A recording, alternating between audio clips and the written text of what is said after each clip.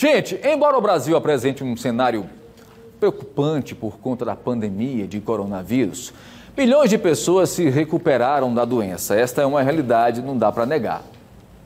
Mas olha, é após a recuperação que os cuidados com a alimentação precisam ser observados com o objetivo de melhorar a energia, a qualidade da energia das pessoas, do indivíduo, né? Portanto, terça-feira é dia de nutrição inteligente aqui no Balanço Geral. E por isso, chegou a hora da nossa pausa gostosa do café.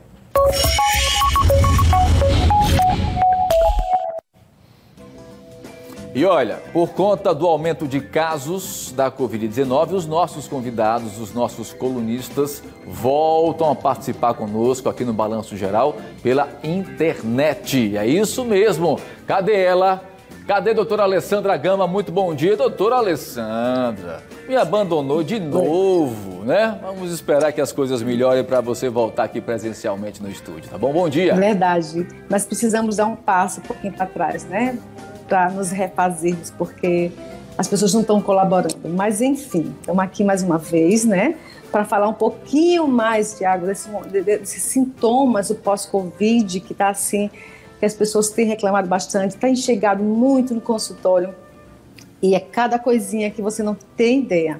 Parece que ele vai ali, ó, em cima da onde você tem aquela coisa que você nem imaginava. Aí ele vem e se apresenta, apresenta os sintomas.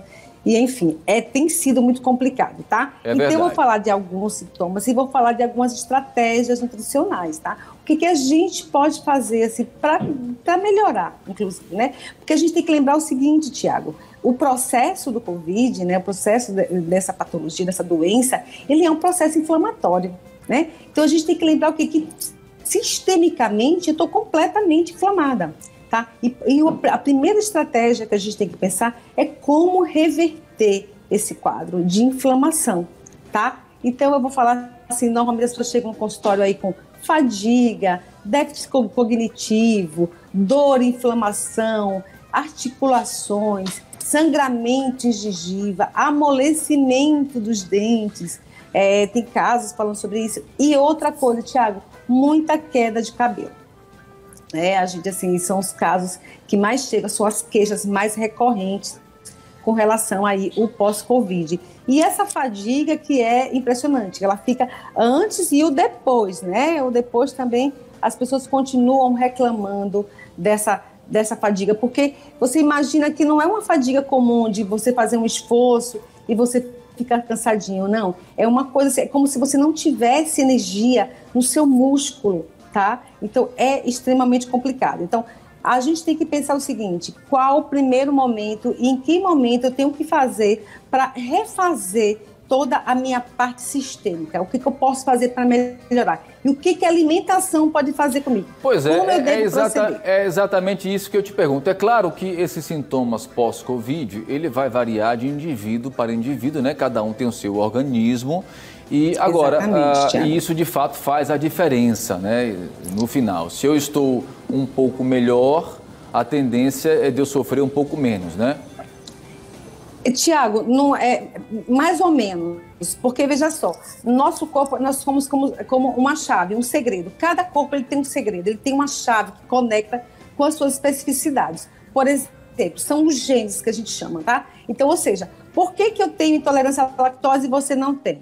Por que, que eu tenho uma patologia e você não tem? São genes, cada um tem o seu, tá? Então tem pessoas que realmente sofrem mais do que as outras, tem pessoas que são, são acometidas por esses sintomas tanto pessoas que passam pelo Covid aí de uma forma mais, mais tranquila, né? E tem pessoas que chegam realmente até a óbito. Então, por que, isso acontece? Né? Ah, é porque eu me alimentei pior, é porque eu tive uma vida mais desregrada, porque eu fumei, porque eu bebi.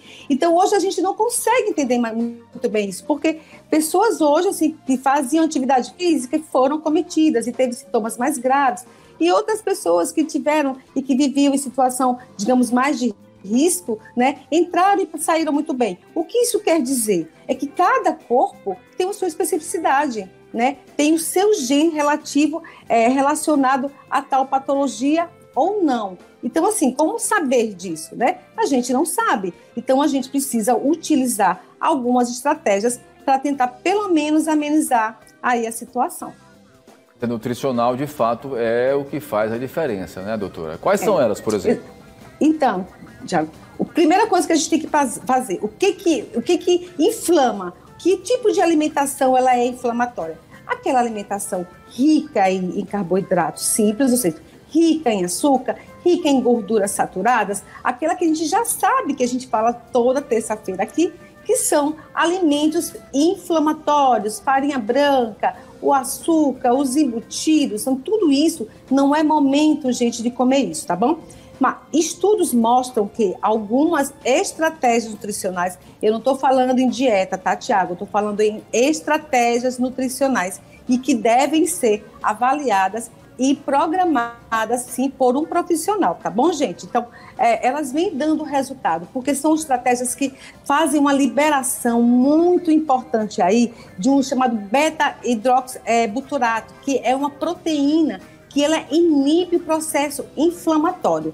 Aonde a gente pode encontrar isso? Nas estratégias de low carb, ou seja, sem carboidrato, numa estratégia de jejum intermitente é muito importante e numa estratégia aí também da dieta cetogênica, aquela que é a base de boas gorduras, tá bom? Então, tudo isso porque promove essa proteína que ela faz uma ação agente reativa aí à inflamação. Agora, Lembrando, doutora Alessandra, vez, onde é que entra agora, por exemplo, a função do intestino? Exatamente. Tudo começa pelo intestino, Tiago, né? Tudo, tudo começa pelo intestino. Esse, esse, intestino, ele povoado de boas bactérias, ele vai fazer o quê? Ele vai metabolizar melhor, ele vai absorver melhor essas vitaminas que a gente precisa nesse momento, eu vou falar mais à frente. Então, esse intestino, ele saudável, e como ele tá, já está passando pelo processo inflamatório todo, sistemicamente falando, o seu corpo está passando, então é importante ter um olhar diferenciado aí nesse, nesse bioma intestinal, tá certo? Por quê? Porque muitas pessoas aí saem do processo de anti-inflamatório de, de, é, é, e de antibiótico, que isso é atinge essa barreira intestinal, tá? Permitindo aí que muitas bactérias boas elas venham a, a, a morrer. Então é, é, importante nesse momento um aporte maior de probiótico, um aporte maior de prebiótico, de simbiótico, ter esse olhar diferenciado aí no seu intestino, tá bom? Agora, em relação coisa... às vitaminas, fala-se muita coisa sobre vitamina, né, doutora Alessandra? Vitamina D, vitamina C, vitamina, é vitamina que não acaba mais e vendem uma tal de uma fórmula mágica, né? Mas não é bem, não é bem assim, né? Precisa ter não, calma, não, Thiago, né? A gente, a gente realmente precisa ficar atento aí às vitaminas, tá? Elas realmente são aí um grande parceiro, tá? Nessa, tanto aí na prevenção, tá, gente? Ou prevenir, quando eu digo deixar esse corpo mais preparado né, para o que possa vir e para o depois, e para o pós. Isso é fundamental. A gente vai tirar parte disso, uma, uma grande parte disso, de uma boa alimentação, tá, Tiago? Essa alimentação tem que vir sim repleta de frutas, de legumes e, e sem, isso aí sem dúvida, uma, uma alimentação saudável e regular. Mas também é importante aí o aporte de uma suplementação. Mais uma vez eu digo aqui, com sempre com a orientação de um bom profissional. A vitamina A é importantíssimo, Tiago, vitamina C, vitamina D, gente, a gente tem que... E outra coisa, essa vitamina D, ela não pode ser numa dose baixa, uma dose que a gente toma talvez diária, tá? Também tem que ter uma orientação do profissional que vai aí é, indicar e prescrever uma dose maior para a sua necessidade.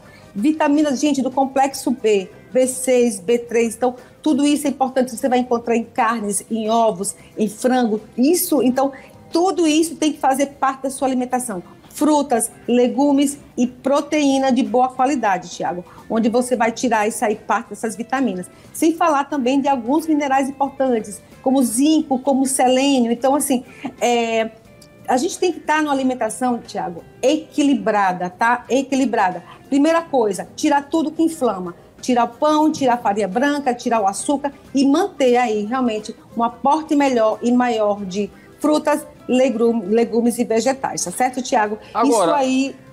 Ah, Para finalizar o nosso bate-papo, doutora Alessandra, a senhora trouxe aí exemplos de fitoquímico. Queria que você explicasse melhor o que seria de fato os fitoquímicos. Tiago, a gente tira muita coisa da natureza, né? A gente sabe disso, que a gente tira muita coisa da natureza. Então, eh, os extratos de alguns fitoquímicos são importantíssimos para esse processo de inflamação, tá certo? Aí eu coloquei o exemplo do, do óleo, que é o resveratrol, que é o óleo da semente da, da uva, também importantíssimo aí nessa recuperação. Coloquei a curcumina, a gente fala muito da cúrcuma. Ah, eu coloquei na minha, no meu ovinho um pouquinho de cúrcuma, que é esse tempero maravilhoso da família aí do gengibre e tal. Mas assim, a gente tem que lembrar o seguinte: eu preciso de um extrato, eu preciso de uma porção maior, eu preciso de uma quantidade maior. Essa que a gente coloca na comida, ela é, é legal? Sim, sem dúvida. Mas eu preciso de uma dosagem maior desse concentrado, tá certo? Isso aí também interfere é, no processo anti-inflamatório liberando e amenizando a liberação de citocinas inflamatórias. A quercetina, que a gente encontra também é, no alho, na cebola, ela está presente principalmente aí na cebola roxa, também um, um, riquíssimo antioxidante. Então a gente tem que simplesmente pensar o que, que eu posso tirar melhor da natureza, o que, que eu posso colocar melhor na minha alimentação, tá certo? Então isso aí são algumas, ah, na verdade se eu fosse falar com você, passaria o dia aqui falando sobre isso. Com certeza. De alguns recursos que a gente pode utilizar, tá? Como processo anti-inflamatório que vai melhorar aí na minha imunidade. Então, assim, isso daqui já é uma dica, mas sempre com uma boa orientação de um bom profissional. É, e é importante dizer, para a gente finalizar a nossa conversa, que o que serve para mim, a dosagem que eu uso, Perfeito. não é a dosagem que cabe para a outra pessoa. Porque tem gente que é assim, Perfeito. né? Ó, oh, fulano, tá tomando o quê? Ah, não, tô tomando isso. Ó, oh, manda fazer para mim também aí, que eu também quero Perfeito. tomar. Opa, não é assim que funciona, né? Cada um, cada qual no seu quadrado, né? Exatamente, Tiago. É como eu falei para você, é a questão do nosso código genético, tá? Do nosso genes. Cada um tem o seu. Nós temos as nossas individualidades, tá? As, é bem verdade que se você, ah, eu vou tomar um própolis vermelho, ah, que legal, não tem contraindicação? Não, não tem, então tudo certo. Mas tem algumas coisas que são necessárias, necessárias saber fato. da sua necessidade. É personalizável, precisa, né? né? E quem precisa prescrever isso aí é um profissional. Então, assim, Exatamente. a orientação tem que ser através de um bom profissional, sem Doutora dúvida. Doutora Alessandra Gama, se deixar, a gente fica aqui a manhã inteira falando sobre nutrição, é viu? É verdade. É verdade um beijo Mas, mais assim, uma, uma vez. Uma boa recuperação a todos. Espero, espero que o que eu tinha falado aqui sirva para vocês e mais alimentação saudável no nosso dia, tá bom? Com um certeza. bom dia para todos. Obrigado, bom dia e espero em breve revê-la aqui de forma presencial em nossos estúdios. Mais uma vez, muito Mais obrigado. Mais bonitinha, com a luz melhor, né, Tiago? Ô, ô, obrigado, viu? Um beijo, um, um beijo, beijo carinhoso. Até semana que vem, se tchau, Deus tchau. quiser, tá? Tchau, tchau.